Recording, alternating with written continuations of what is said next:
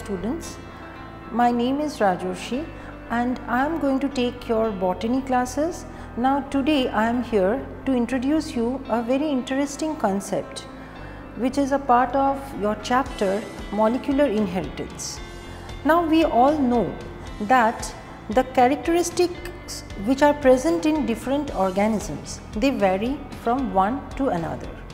But it is also clear to many of us that the information or the message which is going to determine or regulate the different characteristic features that are present in different individuals lies in a specialized biomolecule, right. This specialized biomolecule in all prokaryote and eukaryote is served by a double helical structure which is known as DNA. Now therefore, it can be said DNA they serve as the blueprint of life. Therefore, it is very essential or necessary that this information when two daughter cells they are formed during cell division, this information should also get distributed to the cells, right. And for this the DNA that are present within a particular parent cell which is destined to undergo division should also undergo division along with the division of the cell and it should divide to increase its content to double so that the daughter cells that are formed should contain equal amount of DNA, equal amount of information that are going to regulate the different characteristics present in individuals, right. So, this phenomena which we are going to deal with is DNA replication, right. So, here first of all we need to know that what is DNA replication. Already I mentioned DNA they are the blueprint of life they are going to regulate the different activities which are going on within our body and the characteristic features which are present within all the individuals they are also regulated by the same biomolecule. Therefore, we can say the process in which parent DNA divides to give rise to two daughter DNA involving two parental strands as template and using the deoxyribonucleotides as complementary base pair. That means a DNA basically it is a double stranded structure, it is a double helical structure, it consists of two strands, right. Now,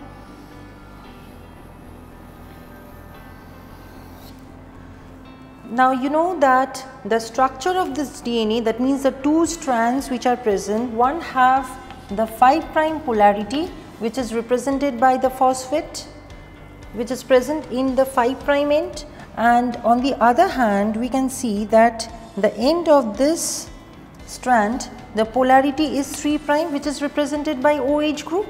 Similarly, the another strand which are held together that means the another strand of the DNA will have the 5 prime polarity that is which will have the phosphate group which is corresponding to the 3, 3 prime end of one of the strand while the 3 prime polarity will be present corresponding to the 5 prime polarity of the other strand.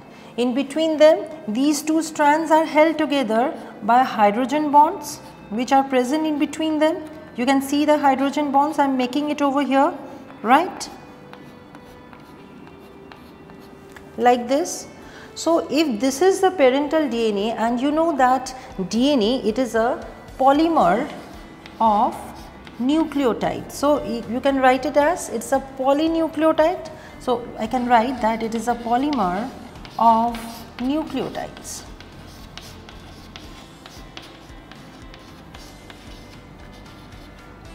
And this nucleotide basically consists of 3 units. What are the three units which are present within this nucleotides? One is the phosphoric acid, I can write it in this way that is H3PO4. Then you have the pentose sugar, the pentose sugar which for in case of DNA it is deoxyribose sugar and another one is the nitrogenous base. I can say N2 bases, right.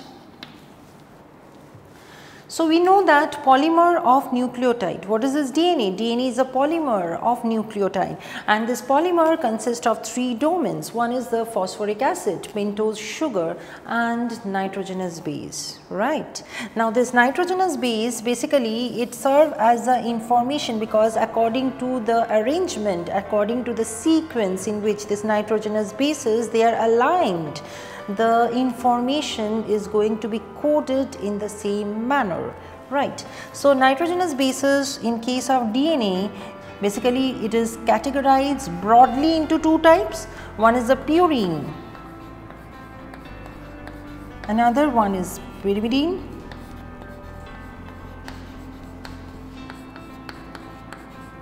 right.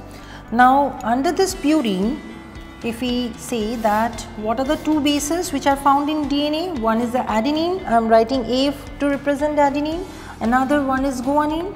So, it is under purine. That means there are two categories of nitrogenous bases, one is purine another is pyrimidine. And this purine again consists of adenine and guanine. Along with that if I write that pyrimidine will contain two more different bases, one is thymine which I am representing with letter T and another is cytosine which is represented by C. So, according to the arrangement, the sequence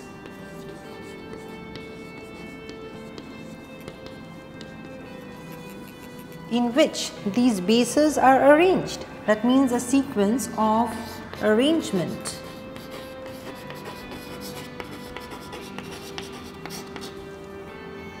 or sequence of alignment or arrangement of these bases they are going to serve as a source of information.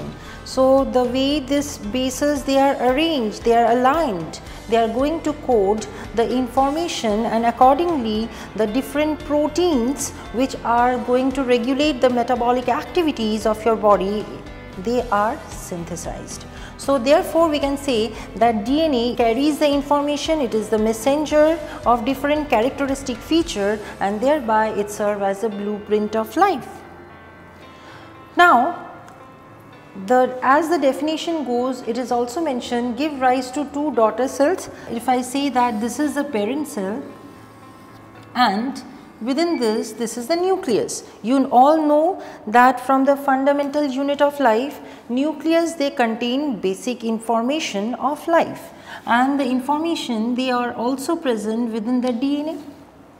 Just now I mentioned over here how the informations they are stored, how they are determined according to the sequence of nitrogenous bases which are present within this structure that is DNA. So, this DNA which is having the information within the cell is present within nucleus.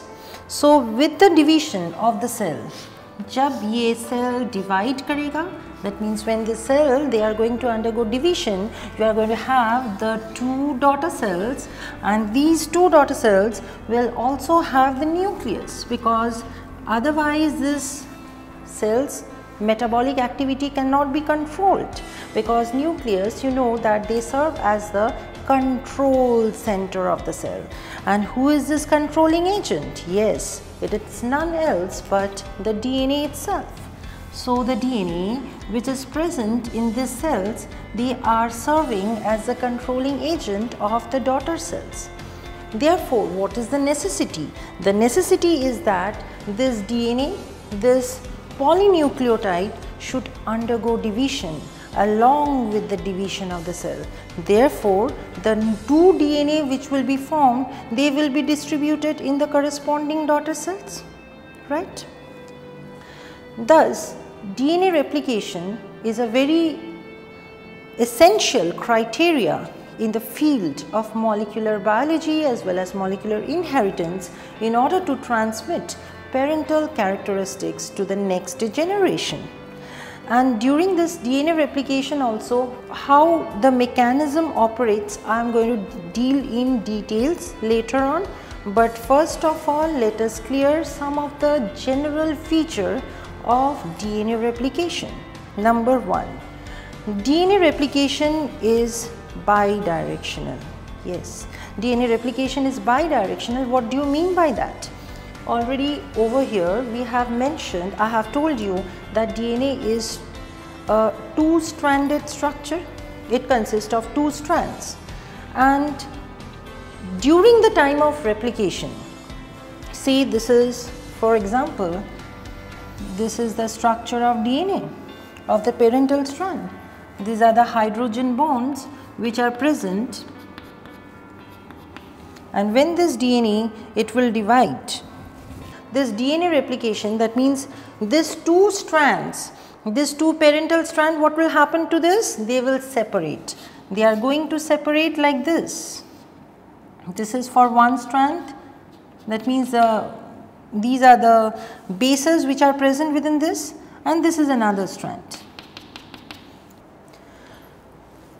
DNA replication is bidirectional. It means the parental DNA, the two strands of the parental DNA must separate and act as a template. Template for what? Template for synthesis of new DNA. Like this, they will separate and you know that they have polarity which is marked by the 3 prime end and the 5 prime end. You know that 5 prime end they contain phosphate, 3 prime end they contain hydroxyl group, OH group and over here 3 prime and 5 prime respectively, right? Now here we see that both the strand, it is not that only one strand is going to undergo replication. Both the strands, they are going to serve as a template and on this new DNA, they are going to get synthesized. New DNA will be synthesized on both the strand. But one thing is important that direction in which the new DNA they will be synthesized, they will be opposite to one another. Here you can see that the parental DNA it is running from 3 prime to 5 prime direction right. So let me mark the direction in this way that means from 3 prime to 5 prime direction and over here the new DNA which is formed it will run from 3 prime to 5 prime direction in this way. Though the synthesis of the DNA always takes place from 5 prime to 3 prime direction and you can see that the direction of the template DNA as well as newly synthesized DNA is opposite in nature, opposite in orientation with respect to one another. Similarly, over here we can see 3 prime to 5 prime if this is the direction of this strand then the direction of the newly synthesized strand it will be in this way 5 prime to 3 prime direction. That is this is 3 prime this is 5 prime. So here the newly synthesized DNA which runs in opposite direction that means they are not parallel to one another this is why DNA is known as anti-parallel in orientation that means the two strands, one runs from 3 prime to 5 prime direction, another strand it will run from 5 prime to 3 prime direction. So here the direction is opposite. Therefore, it is known as DNA replication is anti-parallel in nature. So, first point as a justification to that the DNA replication is bidirectional that means both the strand will undergo replication.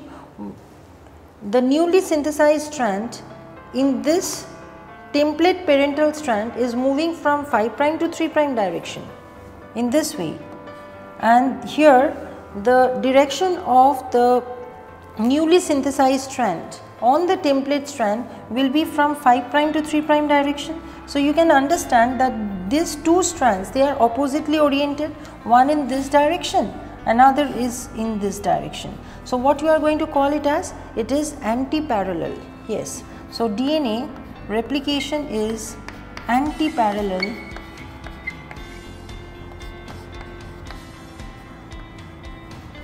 replication of DNA is anti-parallel in nature. If this is 3 prime, this is 5 prime and this is 3 prime and this is 5 prime. Now here in the second condition the direction with respect to polarity just now I mentioned that if we consider the parental strand one parental strand like this over here. So what we see that in case of the parental strand if I make it over here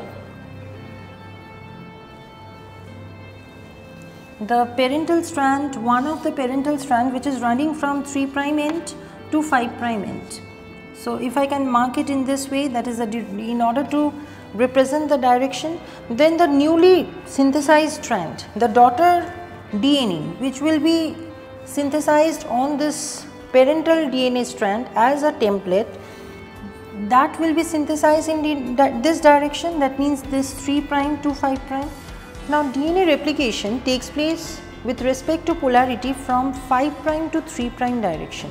Always we know that means replication will start from 5 prime end of the nucleotide and it will continue to 3 prime end. This is a rule of DNA replication, transcription and translation all over the entire central dogma of molecular biology. Now in this case we see that for this synthesis of DNA from 5 prime to 3 prime direction, there is requirement of a RNA primer which we will deal in details when I will talk about the different proteins associated with the DNA replication. So, replication of DNA always takes place from 5 prime to 3 prime direction. It means say this is the parental DNA which is running from 3 prime direction to 5 prime direction on this there will be development of a RNA primer and say this is the RNA primer short RNA primer will be there and the polarity of this RNA primer as this is 3 prime end. So, the you can easily understand that RNA primer will have the 5 prime end corresponding to it. Along with that if this is the 3 prime end anywhere over it there will be 5 prime end. So, correspondingly the polarity of the RNA primer will be 3 prime right. So, on this on this RNA primer when new DNA will be synthesized how will it be on this RNA primer the new DNA will be synthesized under the influence of which enzyme under the influence of DNA polymerase 3. So, the newly synthesized DNA will take place from 5 prime to 3 prime direction. That means from 5 prime to 3 prime direction because if this is the 3 prime of RNA primer, so I can write it over here that this is RNA primer. On this RNA primer under the influence of which enzyme? DNA polymerase. We will deal in details with these enzymes DNA polymerase which we can also write as DNA pol, DNA pol 3 for eukaryote. So, DNA polymerase 3 is responsible for polymerization from 5 prime end that means 3 prime end of the primer. So, on the 3 prime end the new DNA which will be synthesized the polarity which will come that will be 5 prime so, from the 5 prime it will go to 3 prime. In this case we see that if the primer that is the polarity look at the polarity of the primer it is 3 prime end RNA primer. So, on this primer because DNA polymerase 3 cannot act independently like that without primer there is a reason we will discuss that means it requires the 3 prime end for polymerization of the primer. So, if the primer end is 3 prime then the new deoxyribonucleotide which will come over here will have the 5 prime polarity. That means, if this is a 3 prime the new nucleotide which is going to synthesize the polynucleotide with respect to or corresponding to the template strand of the parental template strand will come with the 5 prime polarity right. So, this this will be from 5 prime end to 3 prime end. So, this point is clear to all of you that direction with respect to polarity that means if this is 3 prime it is running from 3 to 5 prime that is the parental strand and the newly synthesized strand with deoxyribonucleotide will move from always from 5 prime to 3 prime right.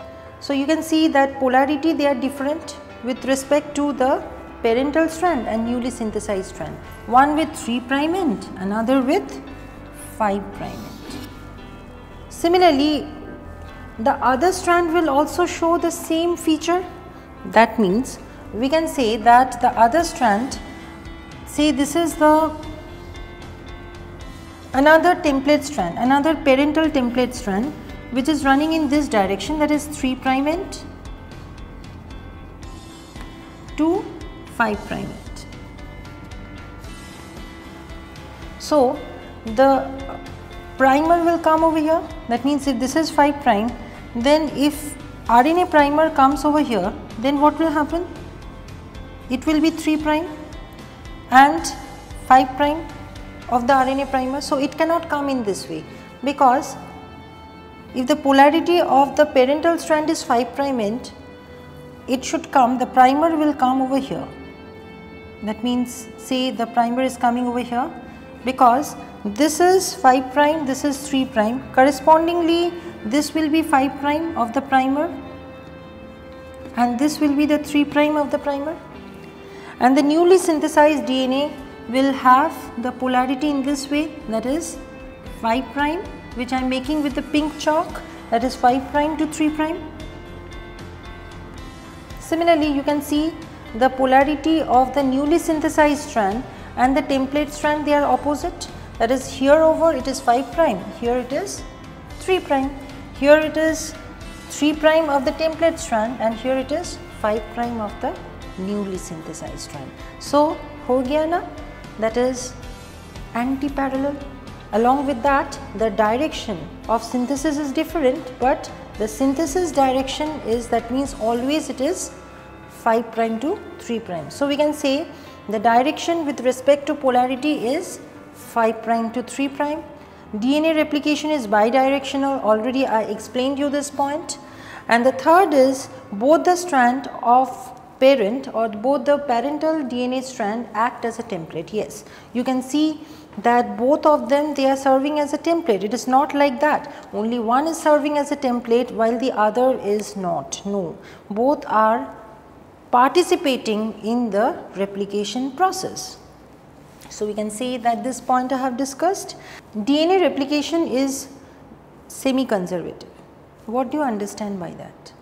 It means that if this is the DNA, if DNA which is replicating in nature, this, these are the two template strands, here 3 and here it is 5, here it is 3, here it is 5 and the newly synthesized DNA will have like this.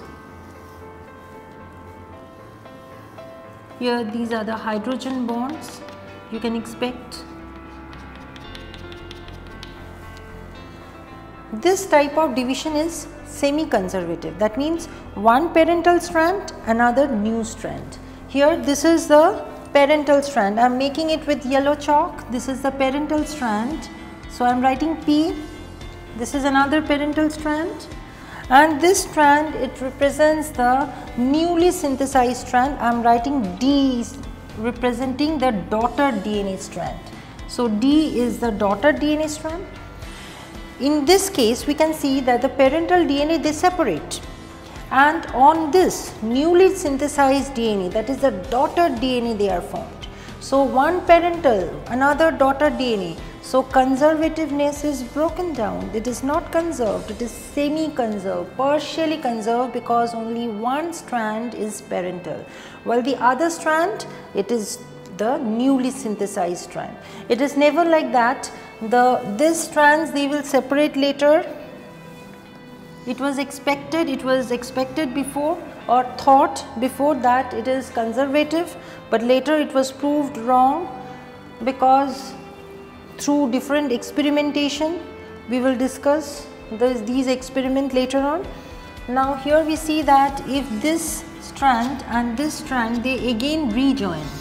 That means again the ligation, the joining of these two parental strand if reoccurs and the two daughter DNA which are formed on these template strand if they separate and joins with each other like this then we could have said that it is conservative but it is not like that. How it takes place? The parental strands, these parental strands they will, these are the parental strands, these are the daughter DNA strands, these are the daughter DNA strands. They never joins like this, they are formed.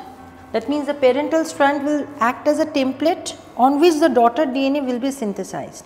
And later they will not separate and join among themselves. Never it will take place. The parental strand and the daughter strand they will remain associated with one another. So, therefore, one strand remains as it is that is parental strand another strand on which this the daughter DNA they are formed they will remain like that. So, one strand is conserved that is a parental strand another strand which was newly formed. So, one is parental another is newly synthesized strand it is the semi conservative partially conservative not both the strands are parental. Is this point clear to you? So replication is semi conservative right? Now the next point that is a dna dna synthesis is semi discontinuous what do you understand by that? Now we know that continuous and discontinuous. Continuous means if the synthesis of newly synthesized strand. That means the strand which is getting synthesized on the parent template strand if it is continuously taking place then it is known as continuous. But in case that one parental strand on one parental strand the synthesis is continuous while on the other parental strand the synthesis of the newly synthesized strand is not continuous it is taking place in small, small fragments. Yes, it is taking place in small, small fragment. Let us try to understand this part over here. Here we see that during DNA replication, there will be formation of a replication fork. I am making over here the replication fork. Say this is the 3 prime end and if we just go in this way to the end over here this is the 5 prime end correspondingly this will be the 3 prime and this will be the 5 prime. I mentioned one thing that this these are the hydrogen bond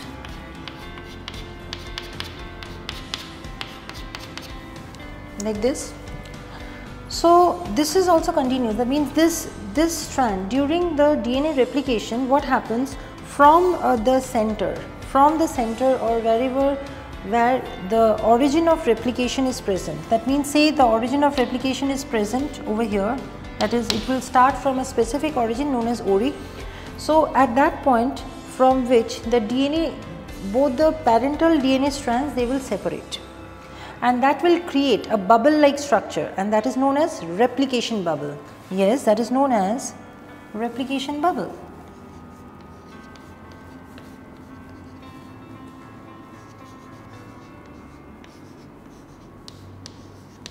Right. Now, I just now mentioned that rule for DNA replication is always yes 5 prime to 3 prime and now RNA primer is required over here. Now this RNA primer have the polarity 5 prime to 3 prime RNA primer which is required for priming the DNA replication will be 5 prime to 3 prime because over here what prime is there? 3 prime. This is template DNA this RNA primer is having this is a short nucleotide sequence of RNA so it will be 5 prime corresponding to this 3 prime. And this part of this RNA primer will surely and surely have 3 prime because this is the 5 prime and we know that if this is the rule if this is the law then what will happen? The DNA replication will always takes place from 5 prime to 3 prime. So, if this is the 3 prime end, so you can expect that DNA will be synthesized from the 5 prime. That means the new nucleotide that is deoxyribonucleotide which will come over here it will be 5 prime because this is the 3 prime OH group and the 5 prime phosphate it will come over here. So, I am making it with the pink chalk that means this this part.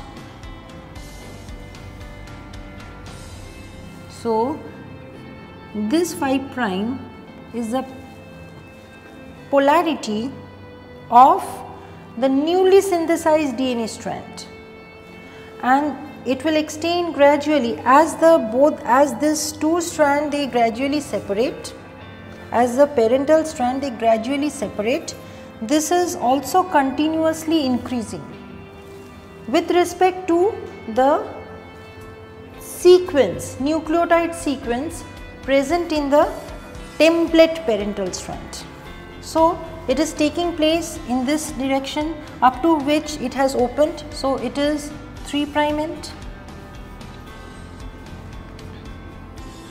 This pink chalk with this I am representing the polarity of the newly synthesized DNA. Do not make it mistake because there are so many polarities involved. One polarity of the parental strand, parental template strand, another the polarity of the RNA primer. Another here there is polarity which is depicted over here is with that is of the newly synthesized strand. So, do not get confused. I am using different colors for different uh, things to represent. So, here how far this DNA has opened it is continuously taking place that means newly synthesized strand it is taking place from 5 prime to 3 prime direction and in the continuous manner with respect to the parental template strand. But keeping this rule, keeping this direction in mind, we cannot say that a primer over primer will come over here. Why? Because 3 prime is over here, 5 prime is over here, then the nucleotide that means the newly synthesized DNA strand which will be formed the first deoxyribonucleotide it is going to have 3 prime end. That means if it starts like this and if it continues like this then what will happen? This rule will change. So, it is wrong because DNA polymerase which is going to polymerize this or catalyze this reaction cannot act on the 5 prime end of the RNA primer. It always requires 3 prime end to perform its catalytic activity. So, what will happen? It will show in some other direction like this. That means primer will not come over here.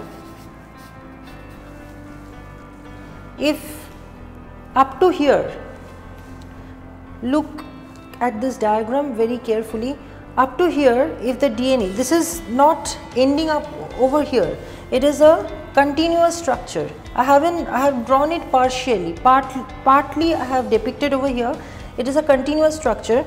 If up to here the bubble has opened, what bubble? Replication bubble. Then you can expect the RNA primer that is if this is a 5 prime end here over you can expect it will be 3 prime end of the template parental template strand correspondingly the RNA primer will come over here RNA primer will not come over here like this in case of template strand running from 3 prime to 5 prime. It will run, come over here with respect to how far this parental DNA, DNA has opened. So, here you can see that this is 5 prime end, this is 3 prime end. Okay. So, what will be the direction of synthesis? According to this rule, the DNA will be synthesized from 5 prime to 3 prime direction and DNA polymerase 3 will require the 3 prime end of the primer. That means the polymerization will take place in this direction. That means 5 prime end to 3 prime end. Again up to here it opened up to this level initially now it is opening more.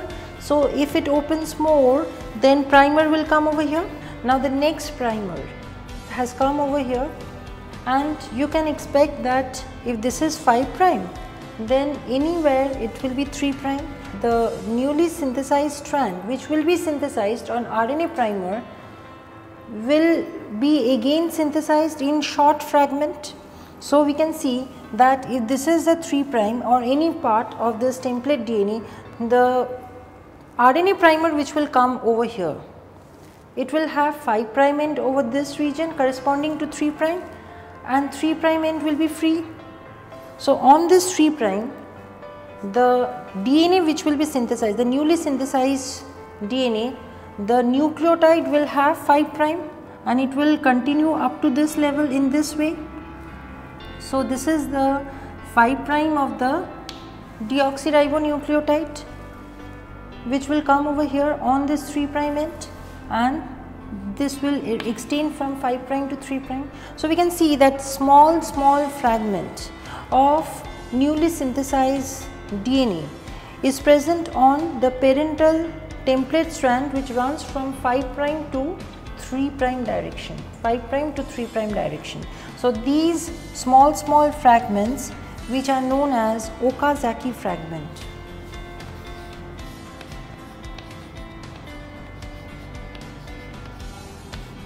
Okazaki fragments. Now over here we can see that newly strand DNA, they are not formed continuously. They are produced in small, small fragments and these fragments, they are referred to as Okazaki fragments. Now these Okazaki fragments will later on join together which we will deal in the process of DNA replication and they will form a continuous strand. So in this way we can say that the DNA synthesis is semi-discontinuous. What do you understand by this? That in one strand, the synthesis of this newly synthesized DNA is continuously taking place, uh, while on the other strand, the newly synthesized strand are not continuous, they are occurring in small small fragment and that is why it is known as semi-discontinuous. So, I have discussed this point also. Next point is DNA synthesis requires RNA priming. Yes, from the very beginning I am showing with the help of this yellow colored chalk I have represented that is RNA primer is essential. Essential for what? Essential for priming of this process because DNA polymerase DNA polymerase 3 it is responsible for polymerization and it will only act on the 3 prime end of RNA primer. Yes, it can only act at the 3 prime end of RNA primer. Therefore, this without RNA primer polymerization of newly synthesized strand is impossible. Therefore, this point has also been discussed. DNA synthesis requires RNA priming and the last but not the least that is replication of DNA starts from an origin. It is not that from anywhere of this polynucleotide, deoxyribo polynucleotide, the DNA replication can start. It will start from a specific part which is known as origin. So, it will be recognized by the different proteins during DNA replication and it will be the site from which DNA replication will begin. This, this is all for this particular lecture and we will again deal in details with the mechanism of the DNA replication. Up to here, thank you.